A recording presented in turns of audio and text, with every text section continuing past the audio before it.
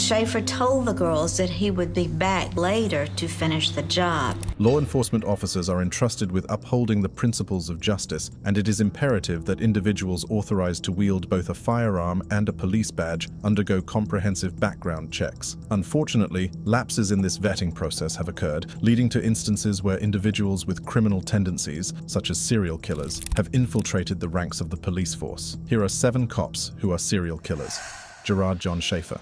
Gerard John Schaefer was born on March 26, 1946, in Neenah, Wisconsin. His father, a traveling salesman, and his mother, a housewife, provided the backdrop for a childhood marred by frequent relocations and a tumultuous family life. As a young boy, Schaefer's world was plagued by his father's alcoholism and the verbal abuse he inflicted upon his wife and children. These early experiences left a lasting impact on Schaefer, shaping his troubled psyche and setting the stage for the darkness that would consume him in later years. As a child, Schaefer found solace in the outdoors, developing a keen interest in nature and outdoor pursuits. However, beneath his seemingly innocent exterior, a sinister fascination was brewing. In his teenage years, Schaefer's fantasies took a disturbing turn. He developed an erotic fixation on hurting women and engaged in sadomasochistic rituals. This early fascination with violence and power would become a defining characteristic of his later crimes, but it didn't stop there. Schaefer also developed voyeuristic tendencies, becoming a peeping Tom and invading the privacy of unsuspecting women. This behavior provided him with a twisted sense of satisfaction, fueling his dark desires. Additionally, he began to experiment with cross-dressing, further blurring the lines between fantasy and reality. As Schaefer grew older, his deviant desires intensified. He became fixated on the idea of inflicting pain and suffering upon women, relishing in their vulnerability. These fantasies consumed his thoughts, driving him to explore the depths of his sadistic inclinations. After graduating from St. Thomas Aquinas High School, where he was considered a promising student and participated in sports, Schaefer briefly worked as a fishing guide before enrolling at Broward Community College. His aspirations led him to Florida Atlantic University, where he hoped to become a teacher. However, fate had a different path in store for him. In 1968, Schaefer married his fiancée, Martha Marty Louise Fogg, but their relationship quickly soured, leading to their divorce in 1970. It was during this tumultuous period that Schaefer's dark desires began to consume him, and he embarked on a career in law enforcement. Schaefer's first foray into law enforcement was as a police officer in Wilton Manors, Florida. However, his performance on the force was less than stellar, and he was ultimately dismissed for misconduct. But this setback didn't deter him. Schaefer saw an opportunity to fulfill his twisted desires within the ranks of the Martin County Sheriff's Department. It was during his time as a deputy that Schaefer's true nature began to reveal itself. In 1972, he abducted two teenage girls, Nancy Ellen Trotter and Paula Sue Wells, and subjected them to a horrifying ordeal that would forever change their lives. Trotter and Wells were innocent victims, unsuspecting of the danger that lurked behind Schaefer's badge. He bound them to trees with a hangman's noose around their necks, a chilling practice that earned him the moniker Hangman. The girls endured unimaginable torture and sexual assault, their lives hanging by a thread. Miraculously, Trotter and Wells managed to escape their captors' clutches, summoning the strength and courage to break free from the nightmare that had consumed them. Their bravery would ultimately lead to Schaefer's arrest and the subsequent unraveling of his dark secrets.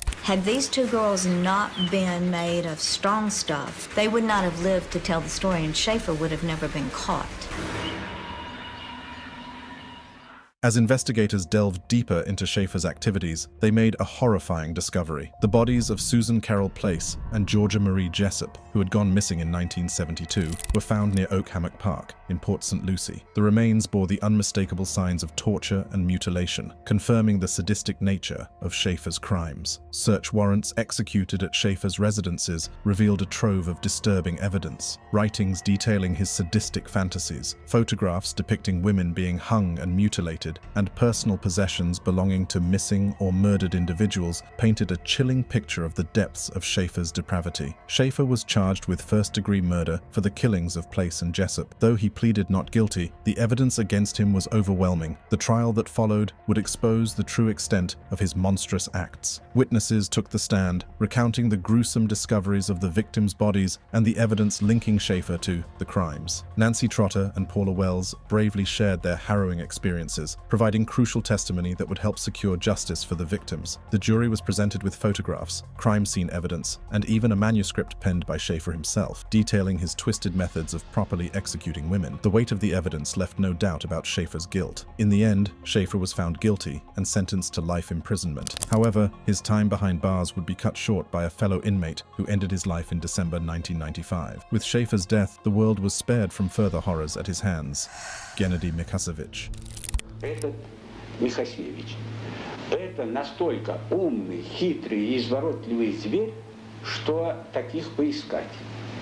In the shadowy depths of the Soviet Union, a chilling tale unfolds. Meet Gennady Mikasevich, a man who wore two faces, that of a respected cop and that of a remorseless serial killer, born on April 7, 1947 in Ist, Vitebsk Oblast, Belarusian SSR. Mikasevich's life took a sinister turn that would shock a nation. Gennady's story is the story of a man who terrorized the streets of Vitebsk, Polotsk, and the surrounding rural areas for over a decade. From his first murder in May 1971, fueled by anger and heartbreak, to his reign of terror that claimed the lives of 36 innocent women, Mikasevich's crimes will leave you astounded. Born on April 7, 1947, 1947 in the small town of Ist, Vitebsk Oblast, by Belarusian SSR, Mikasevich's early life seemed unremarkable, but as we will soon discover, appearances can be deceiving. Nestled in the heart of the Soviet Union, Ist was a quiet town, far removed from the chaos of the outside world. Mikasevich grew up in a modest family his childhood filled with the simple joys of rural life. But beneath the surface, a darkness was brewing, waiting to be unleashed. Like many young men of his time, Mikasevich was conscripted into the Soviet army. It was during his military service that the seeds of his rage and resentment were sown. While he served his country, his girlfriend back home made a fateful decision that would change the course of his life forever. In a letter that arrived at his barracks, Mikasevich learned that his girlfriend had left him and married another man. The news struck him like a thunderbolt, shattering his heart and leaving leaving him consumed by a toxic mix of anger and jealousy. It was in May 1971, fueled by this seething rage, that Mikasevich committed his first act of violence. As he walked along a desolate road, he encountered a young woman, a stranger to him. In a fit of blind fury, he unleashed his pent-up emotions, snuffing out her life without a second thought. This heinous act marked the beginning of Mikasevich's descent into darkness. With each passing day, his thirst for blood grew stronger, and he embarked on a killing spree that would span over a decade The victims of Mikasevich's wrath were often unsuspecting women chosen at random. He would stalk them, waiting for the perfect moment to strike, and when the time was right, he would pounce, leaving a trail of devastation in his wake. As the body count rose, panic gripped the communities of Vitebsk, Polotsk, and the surrounding rural areas. The fear of the unknown hung heavy in the air as residents locked their doors and whispered about the elusive killer in their midst. The authorities were baffled, unable to connect the dots and apprehend the perpetrator, but little did they know that the man they were searching for was hiding in plain sight, wearing the uniform of a cop. It wasn't until the 1980s that a young investigator, with a keen eye for detail, began to notice a pattern in the unsolved cases. The realization that a serial killer was on the loose sent shockwaves through the community, and a renewed sense of urgency gripped the investigation. But Mikasevich, ever the cunning predator, made a fatal mistake. In a desperate attempt to derail the investigation, he sent an anonymous letter to a local newspaper, taunting the authorities and sowing confusion. Little did he know that this act of arrogance would be his downfall. Handwriting analysis eventually led the investigators to Mikasevich's doorstep. In December 1985, he was arrested, and the truth behind his reign of terror was finally brought to light. During his trial, Mikasevich's dark secrets were laid bare. He confessed to the murders, leaving the courtroom in a state of shock. The families of his victims finally had some semblance of closure, knowing that the man responsible for their loved ones' deaths would face justice. Gennady Mikasevich was convicted of murder with aggravating circumstances and sentenced to death. On September 25, 1987, at the age of 40, he met his end at Pishchalowsky Castle in Minsk, Belarusian SSR, executed by shooting. But the story doesn't end there. The shocking truth that emerged during Mikasevich's trial was that several innocent people had been convicted and executed for crimes he had committed. His case exposed corruption within the investigation, casting a dark shadow over the criminal justice system. Короче, говорит, если ты не хочешь, чтобы тебе зеленкой лоб намазали, то давай признавайся, потому что это все равно вы. The lives of those wrongly accused and their families were forever shattered, victims of a system that failed them. Gennady Mikasevich's story serves as a haunting reminder of the darkness that can reside within the human soul. Rosemary Ndlovu. In the quiet town of Tembisa, South Africa, a sinister plot was unfolding. It was June of 2013 when Rosemary Ndlovu, a former policewoman, invited her sister Audrey over for a seemingly innocent dinner. Little did Audrey know that this would be the last meal she would ever share with her sister. The next day, to the shock of the community, Audrey's lifeless body was discovered in her rented room. The autopsy revealed a horrifying truth. She had been a victim of poisoning and strangulation. The investigation into Audrey's murder would uncover a web of deceit, insurance fraud, fraud and cold-blooded killings. As the investigation into Audrey's murder unfolded, the authorities began to connect the dots and uncover a chilling pattern of death surrounding Rosemary Ndlovu. It was revealed that just a few weeks before Audrey's tragic demise, another family member had met a similar fate. Zanele Mota, Rosemary's niece, was found brutally murdered in June of 2013. The cause of death was determined to be a result of severe beating. It was a shocking and heartbreaking loss for the family, but little did they know that this was just the beginning of a string of horrifying crimes. But the web of deceit and death didn't stop there. In October 2015,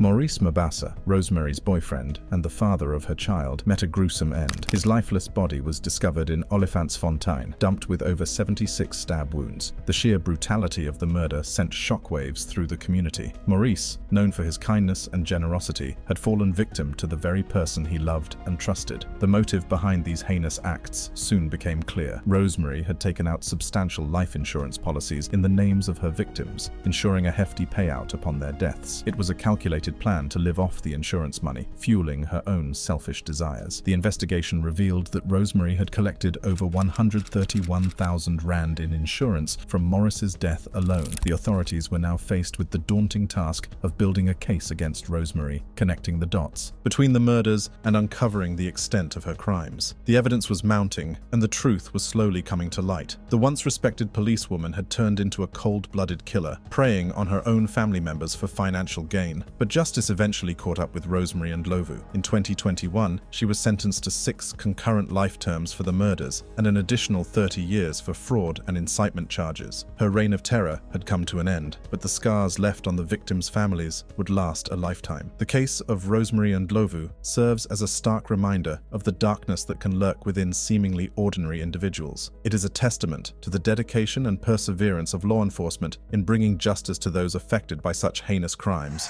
Joseph James D'Angelo.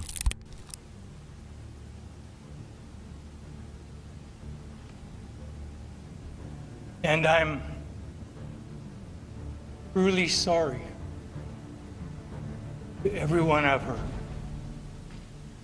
In the quiet town of Visalia, California, a sinister presence lurked in the shadows. Little did the residents know that their peaceful community would soon become the hunting ground for a man who would later be known as the Visalia Ransacker. Joseph James D'Angelo, a former police officer and mechanic, began his criminal career in the mid-1970s. His early crimes as the Visalia ransacker were a chilling precursor to the horrors he would unleash in the years to come. The Visalia ransacker was a master of stealth, striking fear into the hearts of the community. He would break into homes, leaving behind a trail of chaos and terror. His targets were often ordinary families, unaware of the danger that lurked just beyond their front doors. Joseph's modus operandi was to meticulously search through his victims' belongings, taking small items of value and sentimental significance. But his crimes were not limited to theft theft alone. He would also engage in acts of vandalism, leaving his victims feeling violated and vulnerable. Joseph James's reign of terror was marked by his ability to evade capture. Despite the best efforts of law enforcement, he remained one step ahead, leaving behind little evidence and few leads. The community lived in fear, wondering when and where he would strike next. His crimes escalated over time as he grew bolder and more brazen. His actions left a lasting impact on the community, forever changing the sense of security they once had. It wasn't until years later that the true extent of Joseph's crimes would be fully understood. As investigators began to connect the dots, they realized that this elusive burglar was just the beginning of a much darker and more sinister story. As the Visalia ransacker's reign of terror came to an end, a new and even more sinister persona emerged from the shadows. Joseph James D'Angelo, the former police officer and mechanic, would soon become known as the East Area Rapist when he moved to the Sacramento area. While in the Sacramento area, he would target unsuspecting individuals and couples in their own homes. His method of operation was calculated and brutal, leaving a trail of trauma and devastation in his wake. Under the cover of darkness, the East Area rapist would break into homes. Often while his victims were sleeping, he would bind and gag them, subjecting them to hours of unspeakable horrors. The level of violence and sadism displayed by the East Area rapist was unparalleled. His attacks were marked by his meticulous planning and ability to elude capture. He would taunt his victims and the police through phone calls, leaving them in a constant state of fear and paranoia. The community lived in terror as the East Area rapist struck again and again, seemingly unstoppable. Law enforcement agencies worked tirelessly to catch this elusive predator, but he always managed to slip away, leaving behind a traumatized community in his wake. Joseph's crimes escalated over time as he became more brazen and his attacks more violent. The fear and panic in the Sacramento area reached unprecedented levels as residents took extreme measures to protect themselves from this faceless monster. But despite the community's best efforts, the East Area rapist continued to elude capture, leaving investigators frustrated and desperate for a breakthrough. It would take years of tireless investigation and advancements in forensic technology before the true identity of the East Area rapist would be revealed. In 2018, DNA testing confirmed D'Angelo's identity, and he was charged with multiple counts of murder and kidnapping. In 2020, he pleaded guilty to these charges, bringing closure to the victims and their families. The capture and conviction of Joseph James D'Angelo, the Golden State Killer, serves as a reminder that evil can hide in plain sight and that justice will prevail.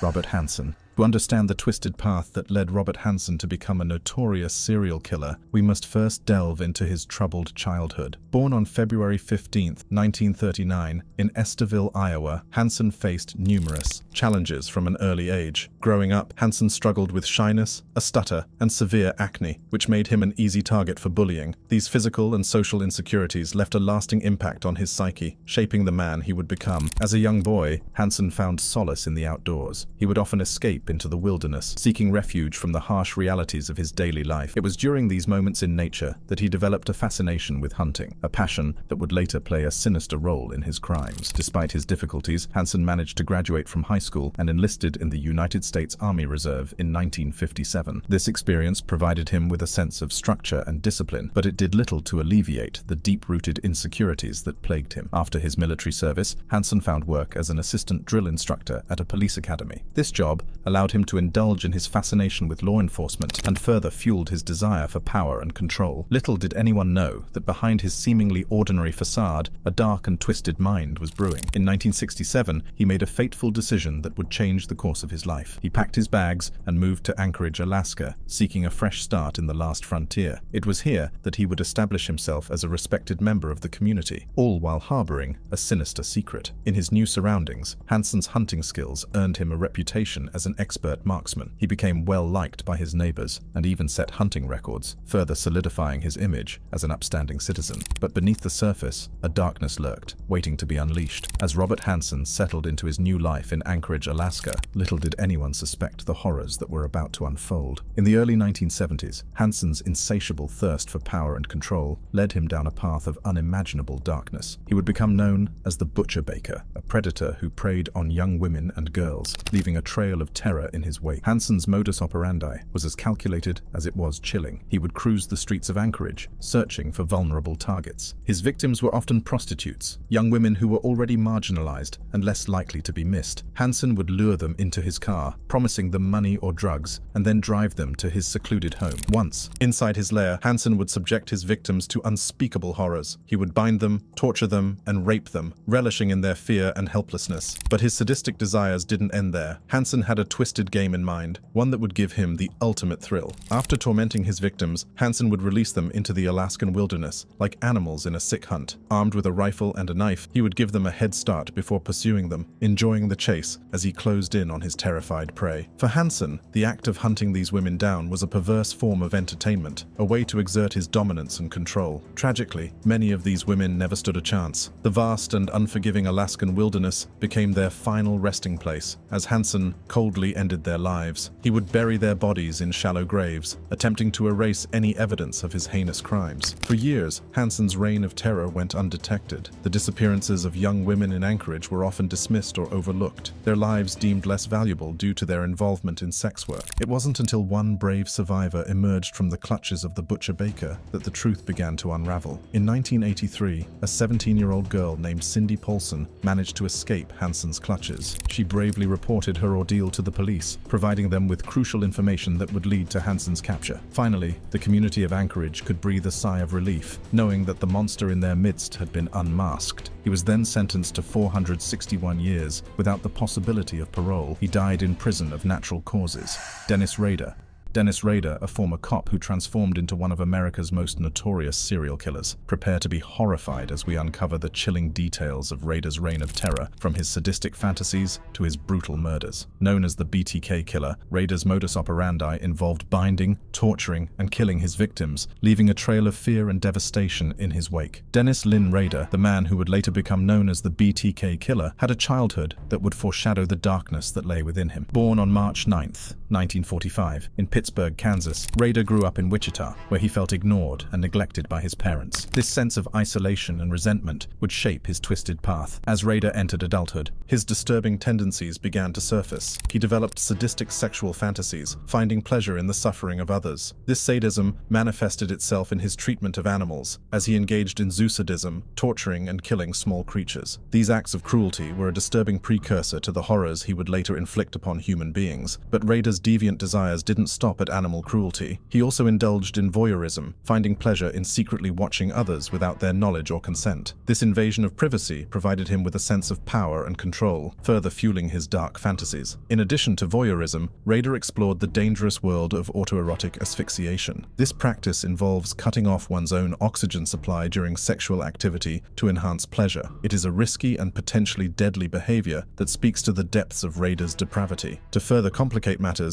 Rader had a fascination with cross-dressing. This blurred the lines between his public persona and his hidden desires, allowing him to explore different facets of his twisted identity. Despite these unsettling inclinations, Rader managed to maintain a seemingly normal life in the community. He held various jobs, including working as an assembler and a security alarm installer. He even got married and had two children, presenting a facade of normalcy that masked the darkness within. However, beneath the surface, Rader's sadistic tendencies continued to grow. The combination of his neglected upbringing, his deviant desires, and his ability to blend into society created a dangerous cocktail that would eventually explode into a reign of terror. Rader's early criminal activities, such as zoosadism, voyeurism, and autoerotic asphyxiation, were a glimpse into the depths of his depravity. These behaviors laid the foundation for the horrors he would later unleash upon the unsuspecting residents of Wichita. The narrative of Rader's upbringing and the development of his disturbing tendencies provide crucial insight into the mind of a man who would become one of America's most notorious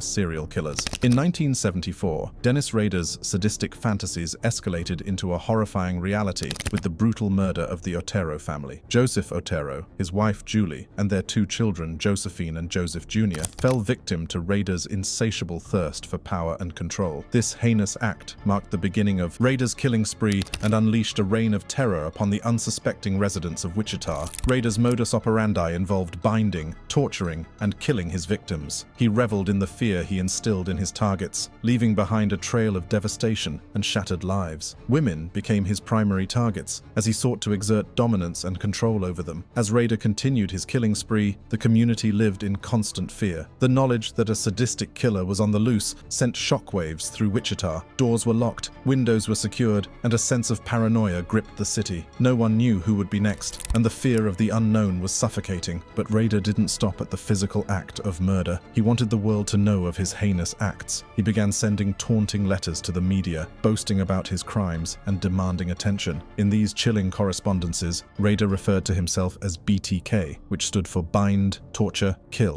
a name that would forever be associated with his reign of terror. The letters contained detailed accounts of his murders, along with keepsakes stolen from his victims. Rader reveled in the fear he instilled in the community, relishing in the power he held over them. The police and media were left scrambling for answers, desperate to bring this sadistic killer to justice. The taunting letters added another layer of terror to an already terrified community. Each correspondence was a reminder that Rader was still out there, lurking in the shadows, ready to strike again. The letters fueled the public's fascination with the case and intensified the pressure on law enforcement to capture the elusive BTK killer. However, after not sending the letters for 13 years, Rader started sending the letters again in 2004, which led to his arrest in 2005 and the subsequent guilty plea. Now, he is currently serving 10 concurrent life sentences at the El Dorado Correctional Facility. Russell Williams. He was a killer with the ultimate cover. As a base commander in the Canadian Air Force, Colonel Russell Williams comforted families of the fallen, rubbed shoulders with the Prime Minister, and even flew planes for the Queen. But no one, including his wife, knew that he was also a sexual deviant, burglar, rapist, and murderer.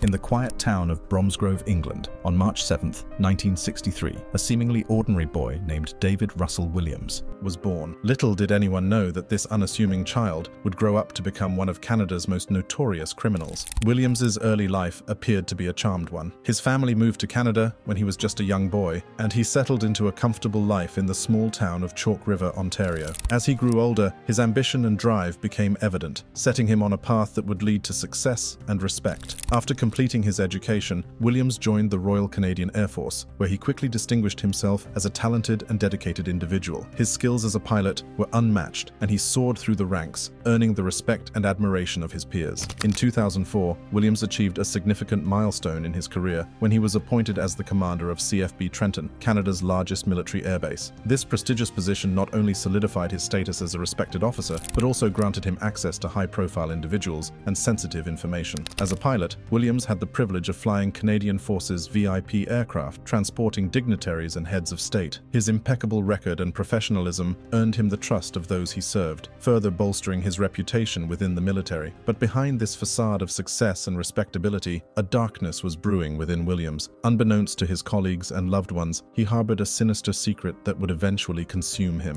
While Russell Williams appeared to be a model officer and upstanding member of society, his hidden desires and twisted fantasies were about to be exposed. In the fall of 2009, the peaceful town of Tweed, Ontario, was about to become the epicenter of a terrifying ordeal. It was during this time that a young woman named Jessica Lloyd vanished without a trace, leaving her loved ones and the community in a state of panic. As the days turned into weeks, the search for Jessica intensified, with law enforcement agencies and volunteers working tirelessly to uncover any leads. Unbeknownst to them, the man responsible for Jessica's disappearance was none other than Russell Williams himself. His insatiable appetite for control and power had escalated, leading him to commit heinous acts that would shock the nation. Williams's crimes began with breaking into houses under the cover of darkness, stealing women's and girls' underwear as sick mementos of his twisted desires. But his actions soon escalated to sexual assault, leaving a trail of traumatized victims in his wake. As the investigation into Jessica Lloyd's disappearance continued, a breakthrough came in February 2010. Evidence linked Williams to the crime, and the walls began to close in on the once respected commander. The man who had flown dignitaries and heads of state was now facing the full force of the law. During his interrogation, Williams confessed not only to Jessica's murder, but also to multiple sexual assaults and other murders. The nation was left in shock as the true extent of his depravity was revealed. The man who had once been seen as a protector had become a predator, preying on the innocent and leaving a trail of devastation in his wake. In October 2010, Williams stood before the court and pleaded guilty to all charges. He was sentenced to two concurrent life sentences, with no possibility of parole for 25 years. His military rank, awards, and privileges were stripped away, and he was condemned to spend the rest of his life behind bars. The arrest and conviction of Russell Williams sent shockwaves through the country, leaving a lasting impact on the communities he had terrorized. It served as a stark reminder that evil can hide in plain sight, and that even those we trust the most can harbor dark secrets.